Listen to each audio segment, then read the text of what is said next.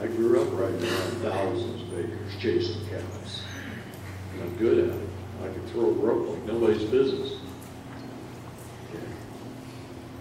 I'm getting older and out of practice, but I could probably still do it. I haven't tried it in a while. But I'm telling you, that would have been my life. Uh, you brought it up.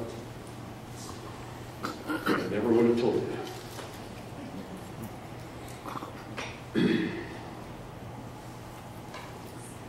Guys, we, I, I know there's new people in here. I know a lot of you have heard a lot of this. But unless the defendant can prove he is not a citizen of the United States, what does that say? Unless the defendant can prove he is not a citizen of the United States, well, how can you prove that if you didn't do your paperwork? What if you didn't put it on and make it a court of record? You didn't make your paperwork important. Unless the defendant can prove he is not a citizen of the United States, then the IRS has a right to inquire and determine a tax liability upon you. That means if you're a citizen, he has a right to determine a tax liability on you. Don't put the cart before the horse. Don't start telling the IRS off until you change your status. Flip him the bird. Kick him in the, tell him to get off Get out. Never deal with him again. There's only two pieces of paper we should ever give to the IRS. Two. Tell them who the fiduciary of the vessel is and claim that ship. And give them a revocation of election. You know what a revocation is?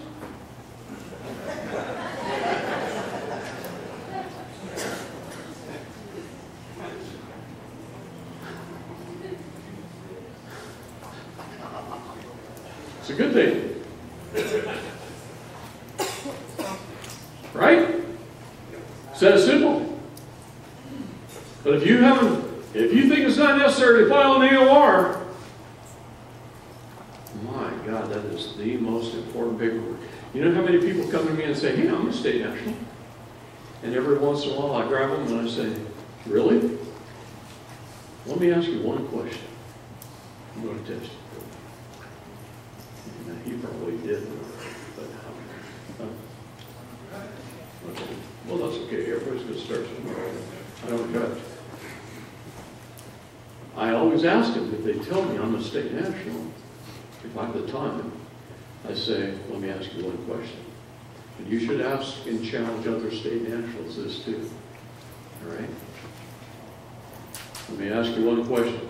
Did you, under the pains and penalties of perjury, through proper service, through an affidavit, submit it to the Secretary of State of the United States, repudiating your citizenship. I'm going to talk about the word repudiate in just a minute. And then declaring your status. And did you make it a court of record? If they say no to that, well, sorry, you're not a state national. No matter what you do, that is the one thing that has to be done. Why? Because we've been checkmarking boxes our whole life. And now the word repudiate. Why is that such an important word that President Trump used it twice in his Declaration of Independence? Why is the word repudiate so important? Because it says, I cannot morally, ethically, and righteously. And I'm just going to take this group right here and say, you're U.S. citizens and you're my society. And you're out there committing genocide. You're out there committing murder. You're out there attacking countries over money. You're attacking countries over oil. You're attacking countries over politics. You're attacking attacking your own people. You're putting your own people in prison whether there's no victim. You guys are doing all those things. And because you're doing them, it goes against God. And if it goes against God, it goes against my righteousness. And I can't morally, ethically, and righteously be a member of this society, this group of people right here. I cannot do it because you're doing odious behavior. You're doing atrocious things. And dang it, Fauci, you're committing genocide. Now, you know why they're never going to call it genocide? Because they got you to voluntarily consent.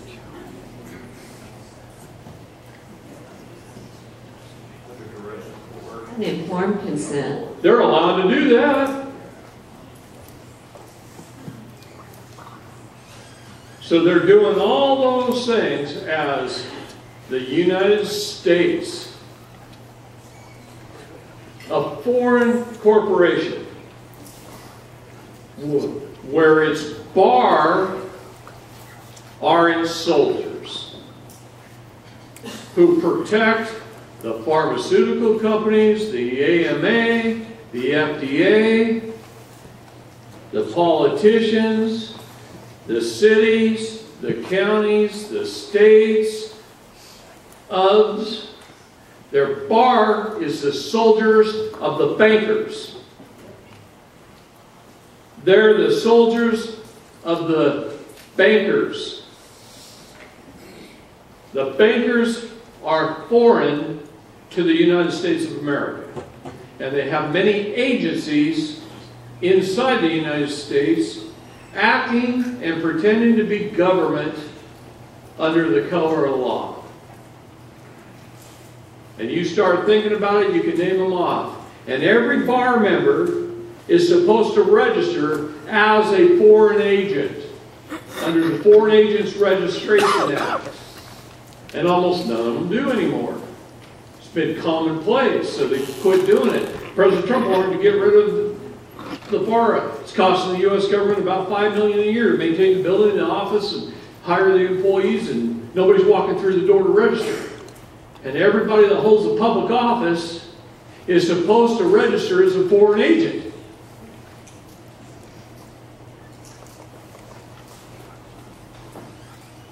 They work for the crown. They work for the United States Corporation. They work for the District of Columbia. And the District of Columbia is under the crown and not part of the United States. It's its own city, nation, state. It's no different than the Vatican inside of Rome. It's no different than Westminster inside of the city of London. They're independent nation states. It's no different than Canberra inside Australia, the southern hemisphere of the Illuminati, headquarters of the Illuminati. Where most stuff happens underground. Canberra, Australia. Look at it on Google Earth. Scare the hell out of. Okay. Can Barra, or cranberry. Understand the pillars. Understand Washington, D.C., the Washington Monument in particular. 1,666 inches across at its base. How tall is it?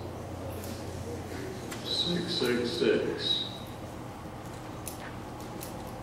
How many obelisks are there in your cemetery in your town? Rather than a headstone. Every one of them was a mason.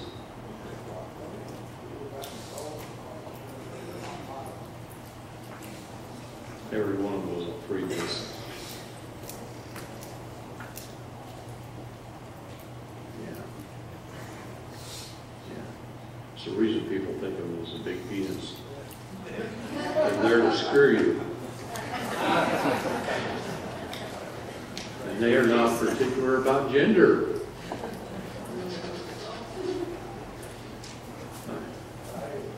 I'm not kidding. That's not even a joke. It's sickening, right? When we truly understand, it'll blow you away. Know, in this book, I've got the actual forms they use for the bonds in court, okay? There's no denying it when you have it written down, you have it on paper, you have it on their forms with their form numbers.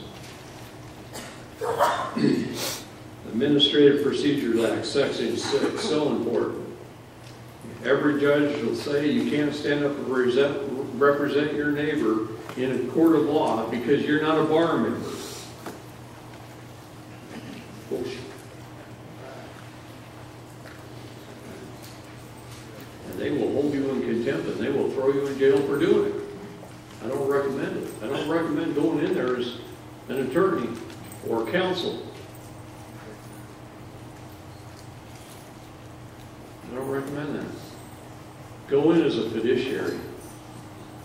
You want to help one of your friends who's not very good with the law? Hand me a dollar. See, then I'm the fiduciary. You don't have to. Then I'm a fiduciary. I've had corporations that I became the chief financial officer of for funk. Because the owners were in trouble. And then I could go into court. I had a federal judge go. It was a Zoom court hearing, federal court case, Zoom court hearing. And I'm calling in from Oregon, and it was a Montana case.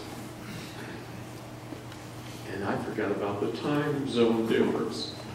So I thought I could drive an hour, I was headed up to Idaho to fill out a seminar, thought I could drive an hour, and they called me as I'm leaving my driveway.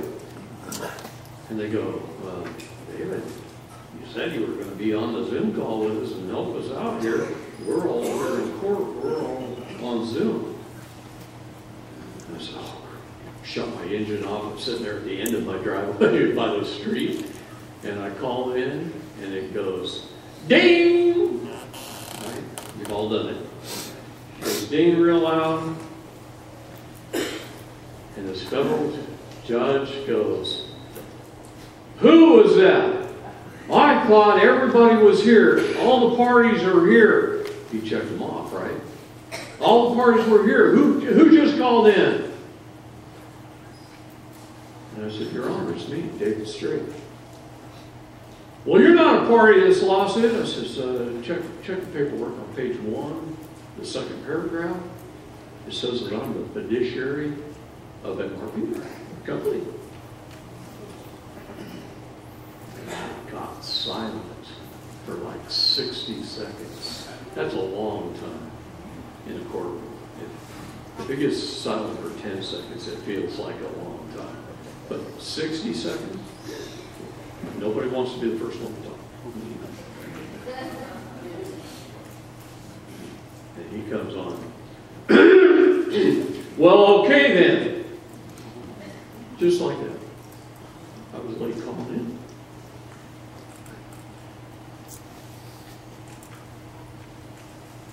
Within about 30 seconds of the prosecutor saying something, I got to start talking. Because I object to everything they say.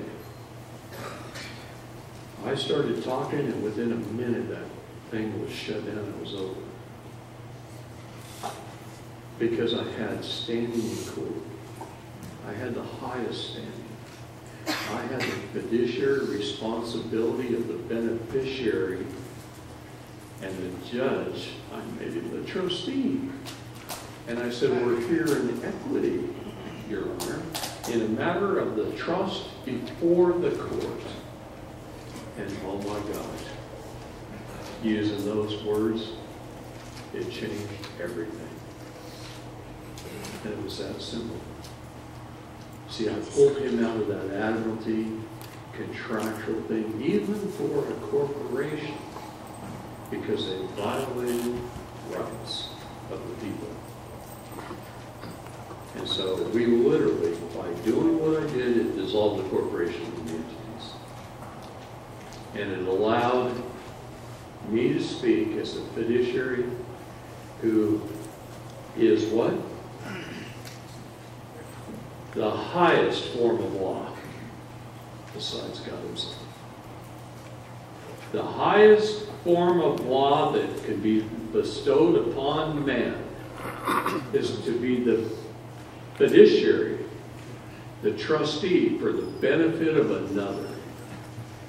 Because it's always about our heirs, successors, and assigns forever.